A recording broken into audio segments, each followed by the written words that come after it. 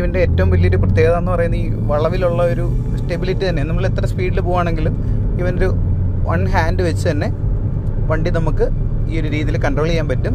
And of course നമ്മളിത് ചെയ്യുന്ന തമിഴ്നാട് റോഡിലാണ്. കേരളത്തിൽ ആരും ഇത് ട്രൈ ഔട്ട് ചെയ്ത് നോക്കരുത്. പിന്നെ അതുപോലെ ഇതിന്റെ ബ്രേക്കിംഗ് നോക്കുവാണെങ്കിൽ നമ്മൾ ഒറ്റ ചവിട്ടി ഓട്ടുന്നില്ല.